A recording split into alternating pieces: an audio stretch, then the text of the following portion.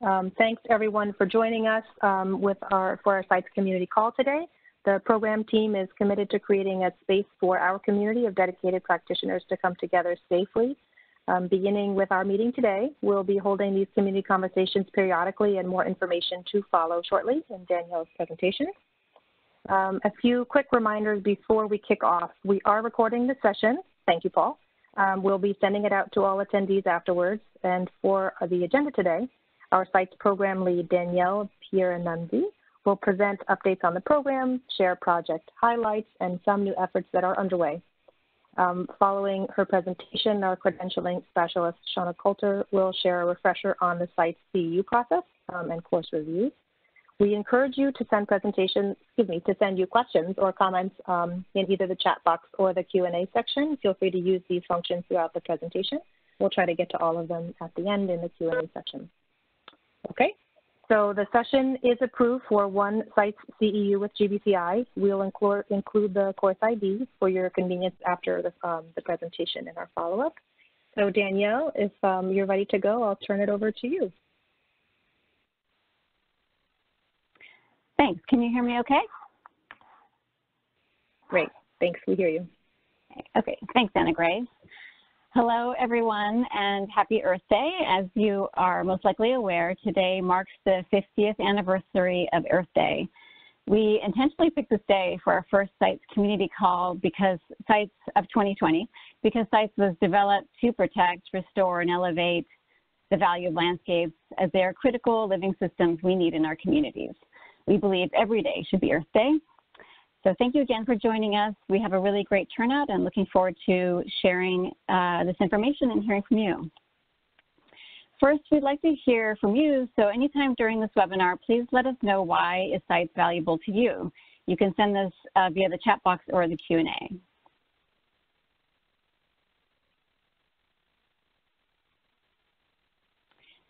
As noted, um, this is the first SITES community call of 2020. This will be an ongoing series of webinars to connect with the SITES community and share knowledge and experience. These were also designed to offer free site CEUs as we greatly value this community.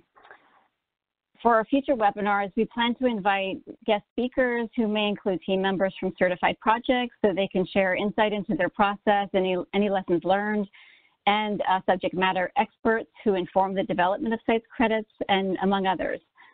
We have ideas for these, but we want to hear what you would like to learn about on future community calls. So during this webinar, via the chat box or Q&A, feel free to share these ideas, or you can do so after the webinar as well um, to sites at gbci.org. So let's get started. SITES is driving sustainability efforts beyond the building. As many of us on this call know, in order to be truly sustainable, resilient, healthy, and equitable, we must design and weave meaningful and sustainable outdoor spaces into our built environment. So rather than be an afterthought, SITES ensures that the site, the surrounding community and local ecology informs the design process early on and is kept through the project completion and into site, site management.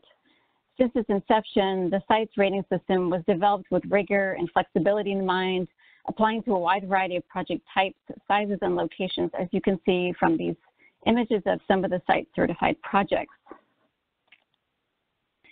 Early on, the SITES team embraced ecosystem services as the foundation for the site's guidelines and metrics. These services include, but are not limited to filtering air pollutants, controlling erosion, maintaining drinkable water, regulating climate, and improving human health and wellness. Ultimately, each credit in the SITES rating system considered how it would protect and enhance ecosystem services on a development project. SITES believes that any project, whether the site of a corporate campus, city park, or academic institution, has the potential to conserve, restore, and create these ecosystem services. The SITES B2 rating system and accompanying reference guide represents the culmination of over eight years of research and field testing. SITES fills an important gap in the marketplace in properly addressing the space outside of and between buildings, yet also for projects with no buildings at all, because while every building has a site, not every site has a building. This rating system provides a set of guidelines and performance metrics for creating and evaluating sustainable and resilient landscapes.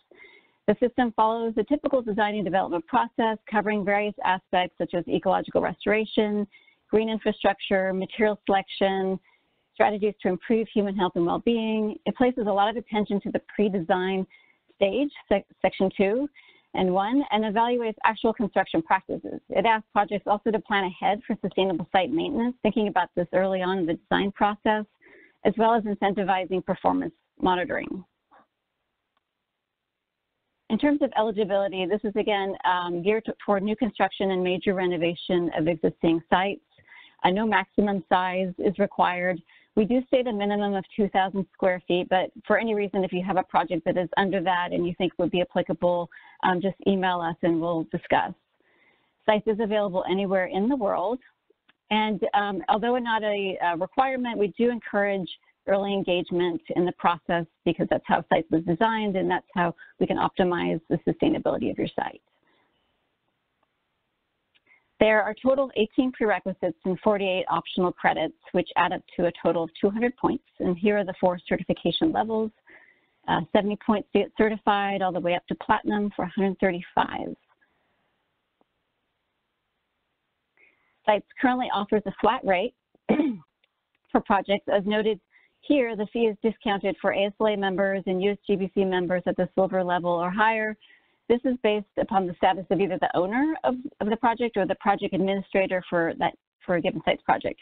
Uh, make sure the membership is current before submitting on sites online. Um, an additional discount is also offered in registration and certification fees if you pay those together at the time of project registration. And I know that pre-certification is noted here. I'm going to mention that later on in more detail. So the site certification process involves um, GBCI where documentation is required in order to achieve the certification. So we need to review that for uh, credit compliance. And there are no, currently no site visits from GBCI. In the next few slides, I will review the steps of these and common questions that we have received. So how do you register? You basically enter basic information into Sites online, and you can get there from the site certification page or at that URL. Um, and then you will enter basic information like the project site area, the location, the name of the project, project owner, uh, the project administrator who will act as the manager overseeing the site's project, um, and so on. And you can also go back in and change things if you need to. And this is also where you will be doing any payments um, as well. And then what happens after you register? After you register, GBCI will uh, email you and you'll be invited to a project-specific Dropbox folder where you can receive your site's worksheets and calculators. Um, those are also available on sites online once you've um, gone through the registration process. And then after that, you implement sites on your project and you compile documentation per the requirements in the reference guide. So what if I have a question before a review? You can send questions to sites at gbci.org anytime during this process, even before you have a project registered. If you have a question, you can email us. Um, for registered projects, you can, uh, you can uh, schedule a pre-review call if you are concerned about um, some credits. And then how do you submit for review? You, you, upload documentation to Dropbox and then you email sites letting us know that we that you are ready for your first review. And then after that, uh, we, we provide you a, re a, review report, which um, identifies all the credits, how they're evaluated, and any feedback. We assess what's been um, anticipated as being achieved, what's pending, and so on. So you have uh, two rounds of review here. And then you, you, can, after your review, you can also email sites with any questions, and you can also set up a post-review call as well. And then once you've been certified, we celebrate your achievement. So just to recap, a project can register at any time in the design and development process, but we strongly recommend that a project register at the earliest stages to gain access to the worksheets and work with GBCI more closely and, to track progress accordingly. Certification, uh, there's two types of reviews, and you can choose either one. They're the same uh, fee. Standard review means that you would submit all your prerequisites and credits being pursued. A split re review would mean that you submit part of your application at the end of the project design phase and the rest at the end of construction. And then the reviews take about uh, 20 to 25 business day days to get back a review report and some feedback. And in general, each credit re receives two rounds of reviews, a preliminary and a final. So for those familiar with sites, you know that sites was originally modeled after LEED, yet focused solely on elevating the value of landscapes and outdoor spaces. Some sites have new buildings as part of their new construction, and many times that project wants to also seek LEED certification, which is great. Just as a reminder, the LEED rating system applies to your project building and the site it is located on, while the site rating system applies to everything on your site except your building with a few exceptions, like if you have a green wall or green roof as part of the project. If it, both the sites and LEED rating systems are being considered, please let GBCI know as soon as you can so we can work to secure the same reviewer, which will be really helpful in streamlining that process. It's important to make sure also that the, that the LEED and sites project share a similar boundary for certification purposes. Uh, in addition, connecting the natural and, built, natural and built environments and optimizing the re relationship. Another reason to consider pursuing both certifications is because both because projects that achieve sites gold automatically earn all the sustainable sites credits in LEED v4 without doing any extra documentation. So there are important synergies among the two systems, which means that earning some LEED credits automatically earn a sites credit or vice versa, and some are direct equivalences as shown in the snapshot of the synergies document. You can see the arrow going both ways. Um, it's important to also look at the details of the synergies document uh, to make sure if there's any exceptions or considerations. Uh, there's been a synergies assessment done for LEED, BD, and uh, LEED for neighborhood development as well. Both of these are available on our resources page of our website. And if you, during this process, if you have any questions about LEED credit or sites credit, these uh, synergies, or if you have a uh, an alternative compliance, please just email sites at GBCI with that. I also want to briefly note that the various level sites have been adopted into policy in the U.S. We hope to see similar policy action in other communities. If this is of interest for our future webinar topic, please be sure to let us know.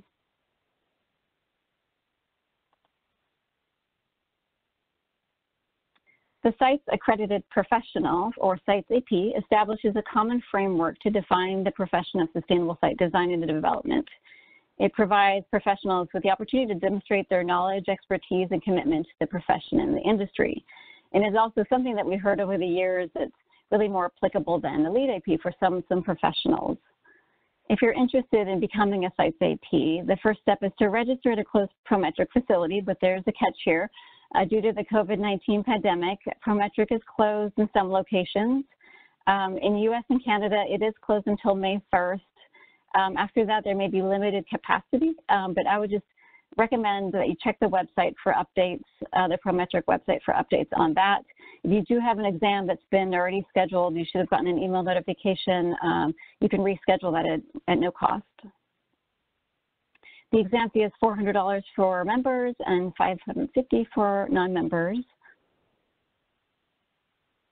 The two main documents to use to study for the exam are the SITES V2 reference guide, of course, as well as the SITES AP candidate handbook, which is really, a, really explaining what the exam covers, what kind of topics, um, as well as gives you some sample questions and helps guide you through that process. So it's about a 13, 15 page document.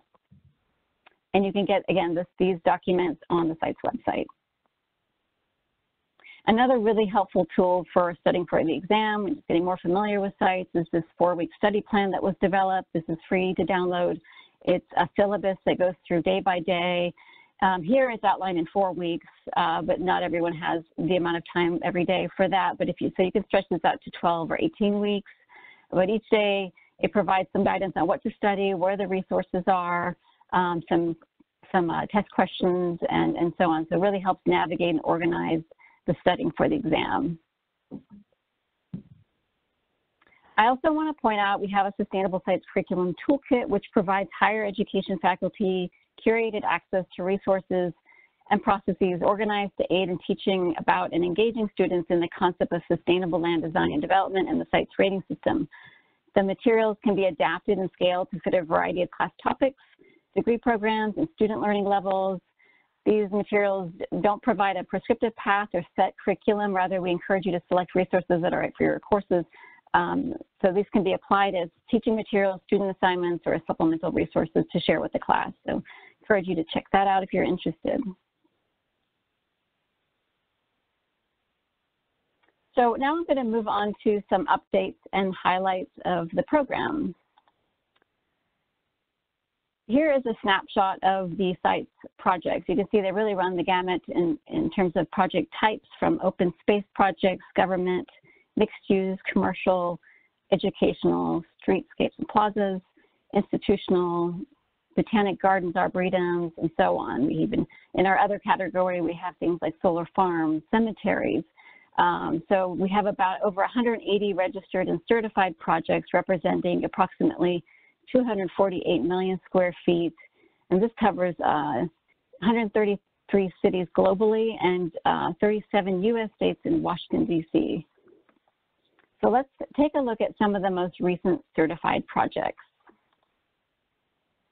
Reopened in January 2019, the Avenue of Stars in the neighboring Salisbury Garden on the Hong Kong waterfront was designed by James Corner and local designers to fully capture the beauty of Victoria Harbor. Along the waterfront, more than 100 cele celebrity handprints and statues take you on a journey to the stars. This site, which plays host to tens of thousands of visitors each day, is the first site certified project in Hong Kong and Greater China. During the renovation, the team focused on creating a greenery-filled, sustainable, and energy-efficient space for visitors to enjoy. Their design incorporated 700% more shade, 225% more seating than the previous design to keep visitors comfortable, with also low-grade pavers made of recycled glass to reduce glare from the nearby harbor on the sidewalk. And due in part to this to the green trellis, the project now has an 800 and, sorry 830% increase in vegetation over the previous designs. Quite an increase. The plants chosen, all of which are low water consumption to reduce resource use, were selected by local gardeners to ensure that native plants were the star of the show. The Runway Park project achieved certified gold last year as well and became the first site certified project in mainland China. Located in Shanghai, China, this 28.6 acre project is a redevelopment of a former airport, as you can see on the top right, hence the name Runway Park. The, the project builds a valuable ecological patch in a highly urban area, which helps to improve the ecological quality of the city, as well as create a healthier, more interesting and meaningful living environment for local people. Approaches of the sponge city concept have also been applied in the design. The rain gardens along the roads reduce river pollution and flood impact by cleaning and, storm, cleaning and storing rainwater. This, is, this has really set a good example of state-of-art municipal stormwater management technology in Shanghai. And this is what we need to see more of in, in our urban areas. The Center for Sustainable Landscapes at the Phipps Conservatory is the first project to achieve SITES V2 Gold, sorry, SITES V2 Platinum in the world. This project is actually a recertification as it was also in the site's pilot program where it also achieved the highest certification level there. Previously, the 2.9 acre site was a, was a city of Pittsburgh public works yard entirely paved over and portions classified as a brownfield. There were no existing land covers or ecosystem to preserve or protect. The Center for Sustainable Landscapes, a research and educational and administration facility, now uses renewable energy produced on site, captures all storm water, and treats all sanitary water. Its design blurs the line between built and natural environments, plants clean wastewater for reuse, and every occupied space offers views of nature. The biodiverse plantings provide food, shelter, and nesting opportunities to endemic wildlife and also help link the site's landscape to neighboring 450 acre Schenley Park, Pittsburgh's second largest green space. Central to the Center for Sustainable Landscape, um, that landscape is a 4,000 square foot lagoon that you can see here that is fed by the conservatory roof runoff and populated with native fish and turtles. The project is considered one of the greenest projects in the world, having achieved SITES LEED WELL certification in addition to the Living Building Challenge. And here is the site's Platinum Project certified late last year. It's the first project to achieve site certification in the hospitality sector and in the state of Alabama. The lodge at Gulf State Park, also, uh, it's a Hilton hotel. It's also pursuing LEED, is a 350 room beachfront hotel located within Alabama's Gulf State Park. It's a really interesting collaboration between private and public sectors and between conservation and development. the project was motivated to use sites to measure the success of the dune restoration and the development of the landscape around the lodge as working green infrastructure. As you can, as you can imagine, a traditional hotel, hotel landscape mostly serves as decoration and requires a significant amount of water, energy, and chemical pesticides and fertilizers to maintain. In contrast, in contrast, this lodge landscape provides habitat for wildlife, buffers the buildings from future storm surges, and naturally filters and absorbs stormwater through wetlands and swales. It's, it's clear these are all actions we have to take to address climate change, particularly in coastal areas, as we know many, rest, many resorts and hotels are located on or near coastlines. You can see more of these certified projects on our website project directory and our, in our newsletters where we'll announce more of these in future community calls. This array of projects brings to light the ways the market is adopting techniques like green infrastructure through sites in order to enact a new vision for the future that sets a strong foundation for healthier, more equitable, and resilient places.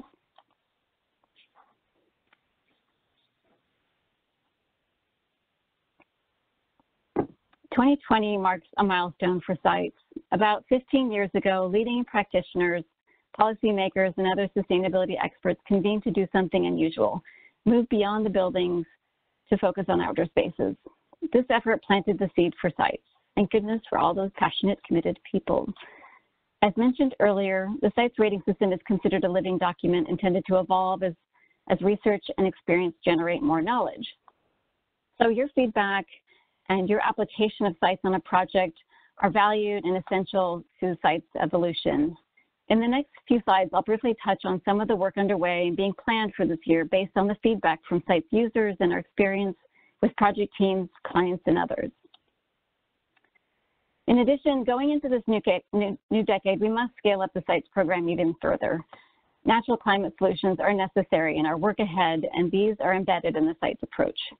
And as noted earlier, many of these sites-related solutions also provide a multitude of co-benefits like water filtration, pollination services, flood control, habitat protection, among many other ecosystem services. So one way we're doing this is to expand how we can use sites. This year we formally launched pre-certification, and this was in response to feedback from the site's community for a formal recognition for projects in the planning phase. Site's pre-certification focuses on a project's plan, including its intended design and construction strategies. The project does not have to be built to be pre-certified.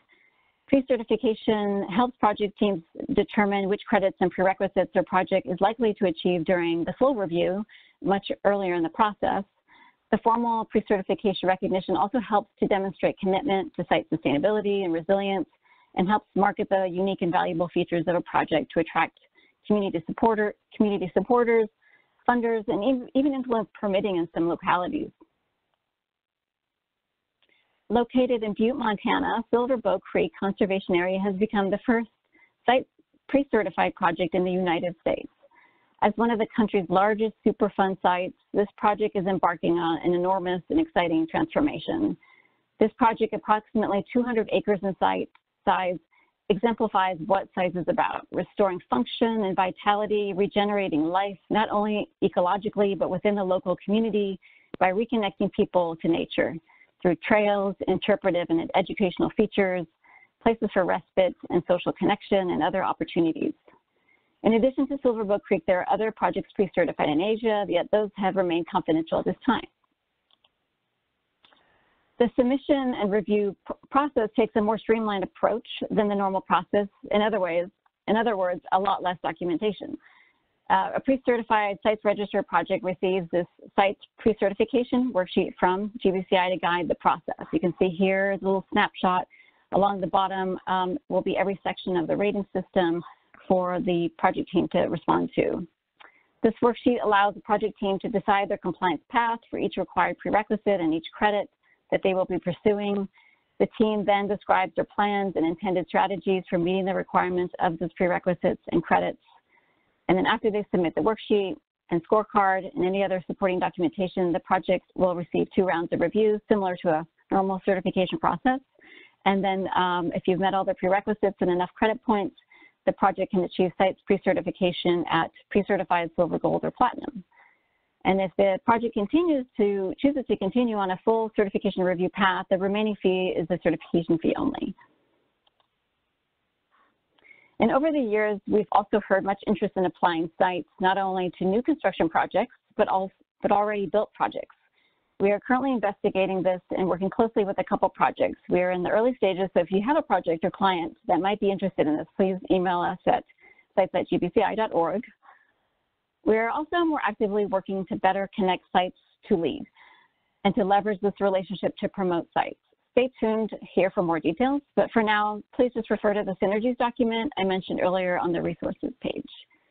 Another exciting effort we have started work on this year is collaborating with a LEED carbon subgroup, which is part of the Sustainable Site Technical Group, to explore carbon metrics with a focus on rewarding projects for sequestering carbon on and off site. Carbon is currently addressed in multiple ways in the site's rating system through prerequisites and credits that promote and sometimes require conservation of healthy landscapes and the restoration of soils and vegetation on any degraded sites. Credits like optimizing biomass and the soil restoration credits support a system that can better sequester and store carbon. Other credits also target how we can reduce or eliminate emissions and fossil fuel consumption, and instead of instead promote walking, biking, public transit, as well as promote the use of renewable energy, regional materials, energy efficient lighting, and electric maintenance, for example. With this carbon subgroup, we are reviewing tools like the Pathfinder app, a climate positive design, iTree, and speaking with them, AutoCase is part of this. Sessions on this topic and work were also submitted to both ASLA and Greenbuild conferences. We do know that it was accepted at ASLA and we're um, still waiting on green Greenbuild. We're also excited about our uh, expanded outreach this year with our newsletters and these community calls. If you have not signed up for the newsletter, we will share a link in our follow-up uh, email after this webinar, or you can also go to the bottom of the site's website to sign up. The site's newsletter intends to promote leading projects and professionals and other news on sites and sustainable land development in general. Please feel free to share topics you would like to see in future webinars, share any articles of interest that relate to sites, or discuss with us about um, potentially authoring a new article on sites, which could, could potentially gain you some sites to use as well. To better connect with an international audience, we have done a preliminary assessment examining how sites interfaces with the UN Sustainable Development Goals, and we plan to develop a document soon there to share. In addition to, per, to provide better on-ramp tools for site certification and for the teams, particularly the documentation process, we are working on a guidance document to help project teams and clients better navigate the rating system and uh, understand the process of pursuing site certification, uh, which will, will supplement the reference guide.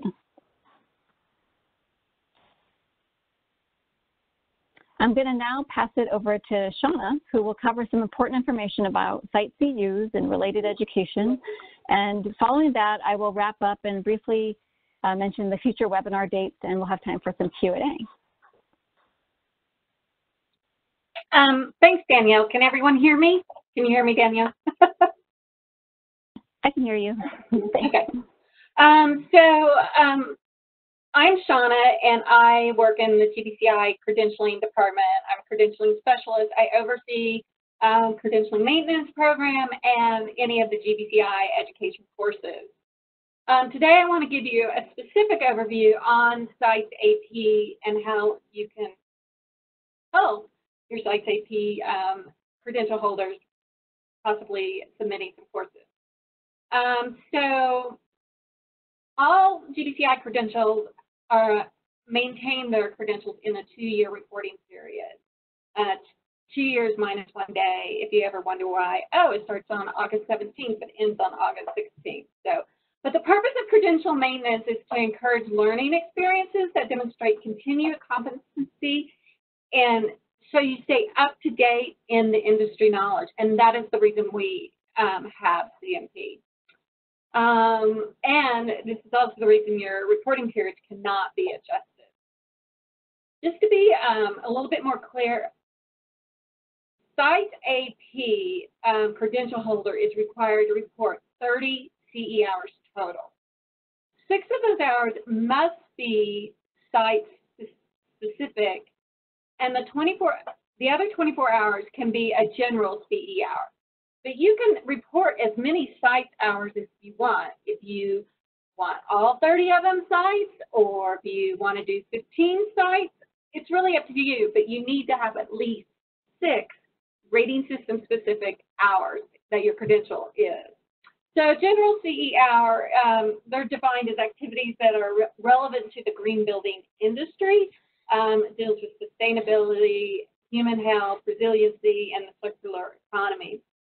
Um, so if you are doing something in LEED, that can go towards your general CE hour.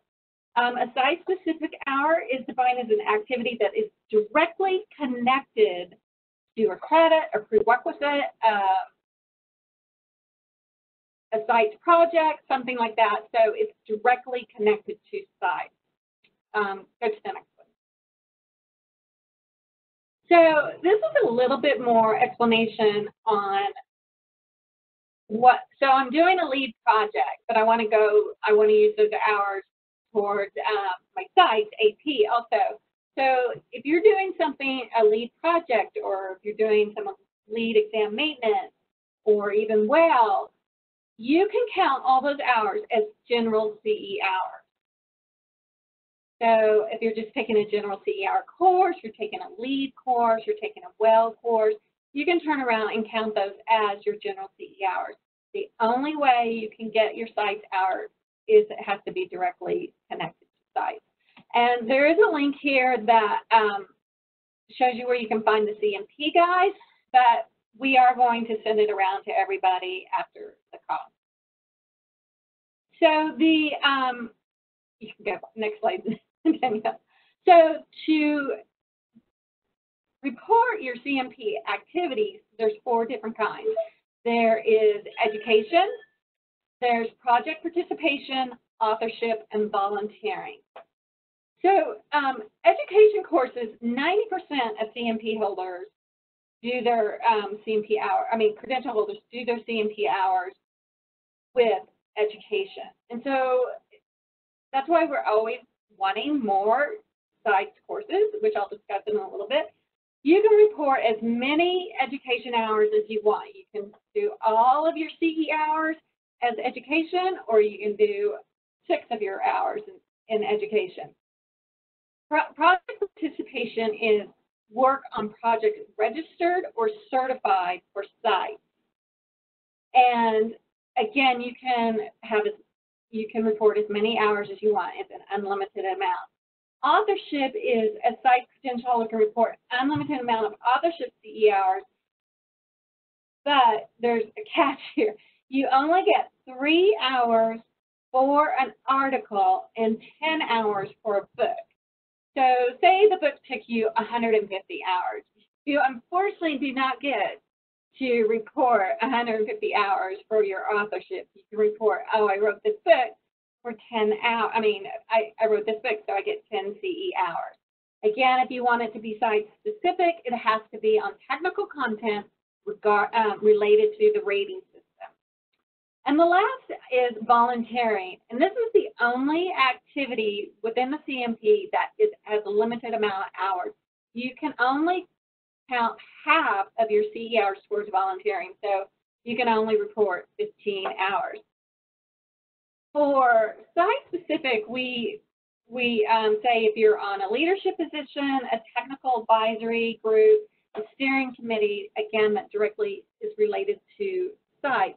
But you can also count volunteering as general CE hours if you're on an ASL, ASLA committee, your ASLA chapter committee, then you can count those as general CE hours. All right, um, so next slide. So now I'm going to talk about um, submitting site education courses. As I mentioned, 90% of the um, CMP, the credential holders report education hours as their um, CMP. The problem is we have had um, people wanting more site courses and we just just don't have them. So I'm hoping with my little small, um, small presentation here, I can entice someone to go, oh yeah, I think I can do a site course. I'll, I'll submit it. So um, anyway, next slide. so the rating system specific criteria for a course used to be very, very stringent. It was, it was difficult to do a course that's rating system specific in the learning objectives for the course, you had to have the rating system site, the version, version two, and a credit.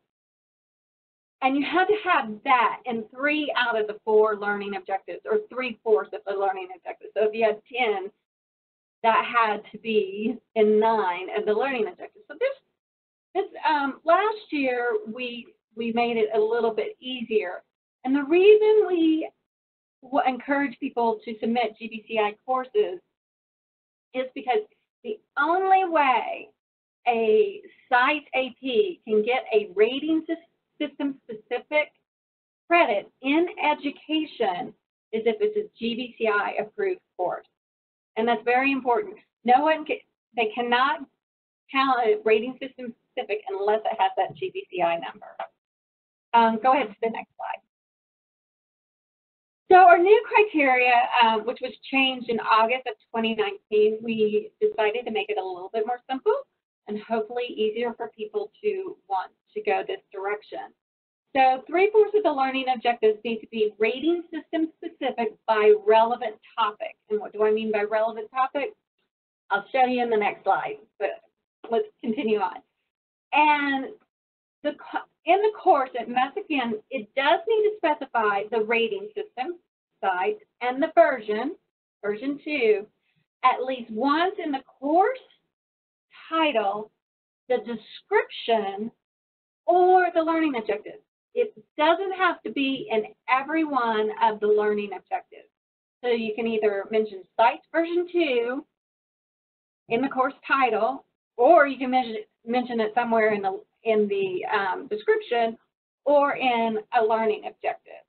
Now remember though, three-fourths of your um, learning objectives must be related around a relevant topic, which we're going to go into.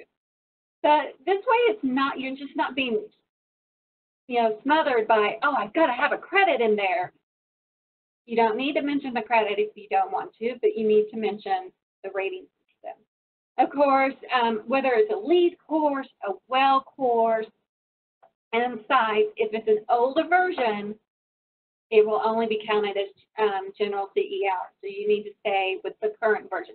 So say you're going to do synergies between sites version 2 and version um, and BD and C 2009. Unfortunately, you would not be able to count the course as a LEED course, but you still could do it for sites. Um, so let's go to the next slide where I can talk a little bit more about the um, relevant topics. Here's a list of what we consider relevant topics, like sites documentation. What, it, what do you have to do to register your sites project?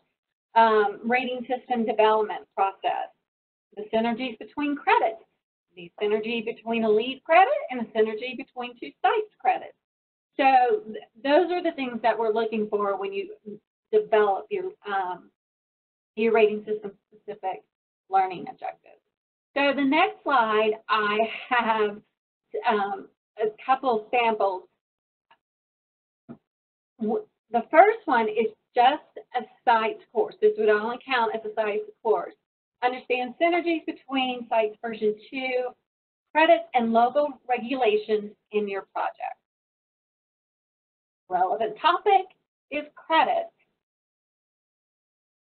The criteria is met with that, and then of course the version and the rating system is in there. So the next one is summarize specific credit synergies between materials and resource prerequisite credits for SITES version 2 and LEED v4 B, B, and C, and how they can be applied to a project for the overall benefit of the end user. So this can be used for both sites and leads. And that is just a very, very brief overview of what we are looking for in education courses, but it is important to know that we are looking for people to submit um, more courses. So I will be doing um, a webinar on how to submit, how to submit education courses. Um, the week of May 15th or 11th through the 15th. If you are interested, feel free to reach out to me and I will send you the date of the webinar. But there's a lot more to submitting a course, but that was the basic overview of a rating system course. That's all I have. Thanks, Shauna. Thanks. It was really helpful, and I hope um, that helped some of the folks out there. And um, hopefully, we'll see some more education, and you, you see some more opportunities for how to get your CEUs. Um, before we head to the Q&A session, to wrap up, I, I want to emphasize that like LEED, SITES is more than a rating system. It's, it's building on a global community of, um, sorry, I have a little my computer was freezing for a second. It's building on a community, global community of committed professionals like yourself. It's implementing global goals at a project level, using the rating system to translate these goals, and facilitating the development of regional and local action too, like what has happened with the Atlanta Beltline. And likely pursuing site certification, certification and using the rating system also ensures that projects meet these high standards and keep everyone accountable. SITES, again, is more than a certification. It's an educational tool and a much needed voice at the table to ensure that this is incorporated to activate positive change and enact this new vision for our future. Reconnecting humans with nature will not only provide health and wellness benefits uh, that come from that connection and all the other essential benefits, but also encourages environmental stewardship in present and future generations. Thank you all for using and considering sites for your projects and your community so we can collectively foster community resilience and support regenerative systems. Here are the upcoming community calls, which will feature guest speakers, uh, less of us speaking and more of uh, some of the guest speakers from team members of certified projects, subject matter experts, again, who help shape the credits, um, other sites advocates, you can sign up now for these on our events page if you're interested. Again, these are free and they'll, they'll be offering site CEUs. Um, but again, we want to provide you with the information you are looking for, so do share topics of interest via the chat box or um, after you close out of the webinar, you're going to actually be prompted to with that same question as well. And in our follow-up email, email, we will provide some of this information in these links, so don't worry if you didn't capture all the details.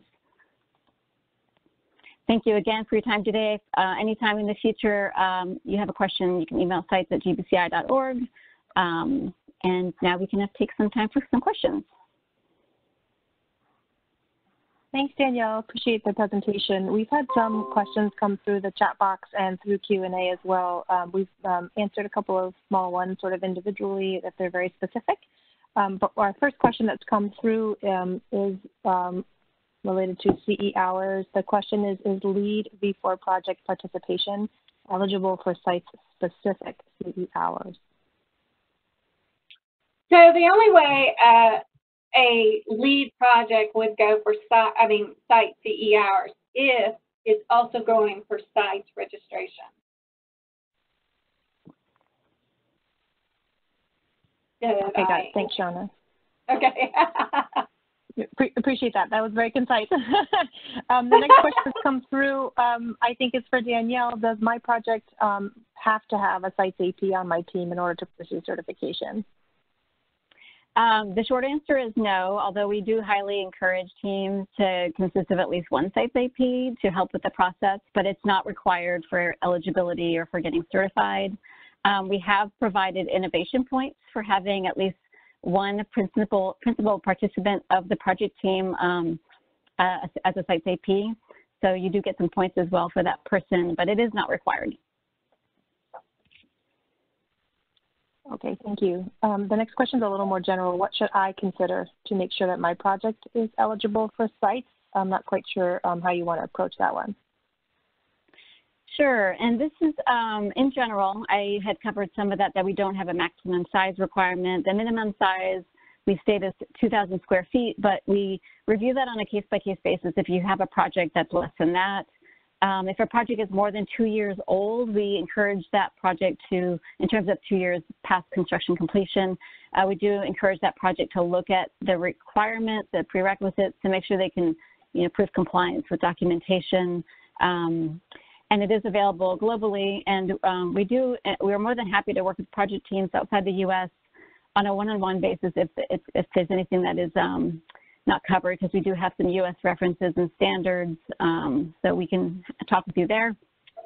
But in terms of the eligibility, the, the one place I direct people to also is to look at the, the prerequisites, the four prerequisites in the site's context section, the section one of the rating system, because those will really deal with what's on your site before you do any design and construction. Do you have any critical sensitive features like healthy farmland or floodplains or wetlands, aquatic, other aquatic resources, um, any endangered or threatened species habitat, uh, something to look at more closely. We do have some um, exceptions in some ways to develop lightly, but um, it's important to look at those before you commit. And we're happy to set up a call to discuss with anybody. Thanks, Danielle. Um, so the questions that are coming through quickly now, so we're going to do our best to address all of them. Um, we just received a question specific to um, IN ASLA committees. I think that's Indiana. Um, the uh, person asking the question can correct me. Um, so you mentioned um, activity can go towards general CE hours. The question is what does and does not count towards that? This is an uh, I, Let me see if I, I'm getting this right. So yes, being on an Indiana chapter main committee, um, ASLA main committee, does count towards general CERs. What doesn't count, example, let's have this example, is I'm going to redo my yard and I think I'm greening it. So I'm going to call that volunteer hours. That does not count. That's not volunteering. You're you're wanting to do that on your own, you know. I'm sorry, your own yard. but um, and I have had someone want to do that as their volunteer. but um, any technical group, any um, committee that has to deal in the green building industry, whether it's ASLA or even if you're on a tag, a LEED tag, you can count that towards your site um, CE hours. Remember, though, you can only count 15 hours. You can't go over that.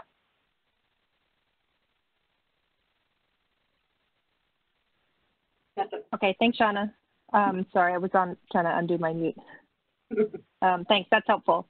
Um, the next question, um, also regarding sites AP. Um, I think we we might want to um, address this question uh, in a little more detail offline with the questioner. It's, it's specific to the GSA program. Do we have recommendations on how sites AP professionals can connect or tap into the GSA program? Yeah, I think that we might have to do that offline. Um, seems like pretty detailed, but uh, yeah, let's let's just do that offline. Oh, I I want to give an update real quick. Um, okay. Okay. yeah. Hot off the press, guys. Um, wow. Unfortunately, Prometric test centers will be closed until the end of May, and then they will reassess if they're going to reopen them. So if you do have a site exam scheduled, reach out to Prometric or they can reach out to me and I'll help I'll help with it. But um, yes, I've just been informed Prometric test centers are now closed until the end of May. Thank you. Things are changing so fast. I just looked yesterday, it said May 1st. So yeah, it's important to check the website.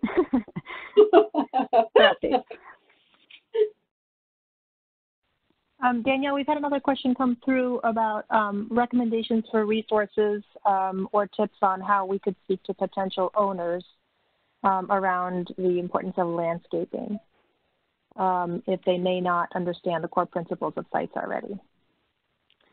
Sure, we have um, some resources on our website. There's a science uh, site, sorry, sites client deck, which is a slide deck of various slides that lay out uh, case for sustainable land development, uh, sites, uh, some of the sites practices, and you know people can use pick and choose the, the slides that they want to use. They don't have to use the entire thing. Um, also, the ASLA um, Sustainable Design and Development Professional Practice Network has been working on a sites in 10 updated presentation, some based on the client deck, some new information. And I believe they're pretty close. To, I know they showed it last year, last uh, ASLA conference um, with a, it's got a script. They're going to record it as well. Uh, so that's another tool to uh, to use. It'll be posted on our resources page as well as um, ASLA's page, and we can have information about update on that as well. The, the great thing is to, I think, sign up for the newsletter where we'll be sharing all these updates when things are made available. Thanks, Danielle. Um, and we also included the um, main sites, sustainable sites uh, web address in the chat box, and folks can go there for central resources. The newest question to come in is, um, what is the standard time frame for review by sites reviewers once the information is completely submitted? Sure. So each review takes 20 to 25 business days. And um, again, there's the two rounds of review. There's a preliminary and a final. So um, just add in 20 to 25 business days on the GBCI end to review for each of those reviews.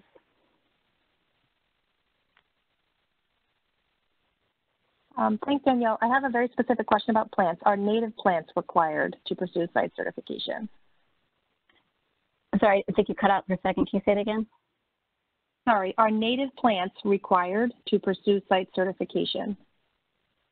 Um, no, that's not a prerequisite, so it's not. It doesn't fall under any prerequisite. It is a credit, so if a project does uh, use native plants as part of their design, uh, then they do get additional points.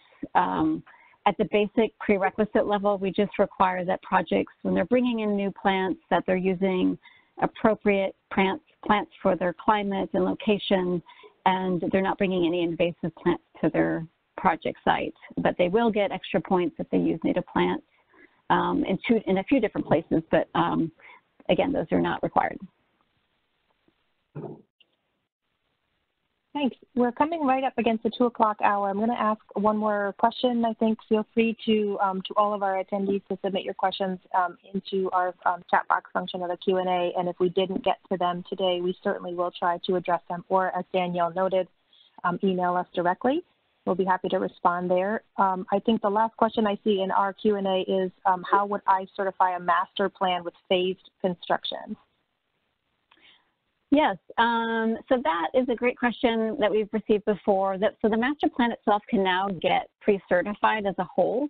Um, that like we see with the Silver Bow Creek Conservation Area in Montana that we looked at earlier. And then if there's a um, if this is a large project and you have multiple phases of construction with unique timelines and construction schedules, uh, each phase can can be um, separated out and get certified um, as a, as a phase for each phase. And then if you have three or more phases, we offer a discounted approach. We also can, um, we strongly suggest a call with us to better under, for us to better understand the project and, and discuss how um, certain credits can span the entire project and not have to be, and can reduce some of the documentation. Great, thanks. Um, thanks, Danielle. I really appreciate that. Um, do you want to uh, close up the webinar and we'll um, end the session and look forward to seeing as many folks um, on our next Sites community call? Sure. Thank you, Anna Grace and, and Shauna and everyone for attending this uh, first Sites Community Call of 2020. We're really excited to better connect with you and, and uh, be able to share knowledge from uh, sites users and sites experts and other sites advocates out there and have more dialogue in the future. So again, please share any webinar topics, um, any ideas for articles uh, to us, and we look forward to the next time. Thank you so much and have a great rest of your Earth Day.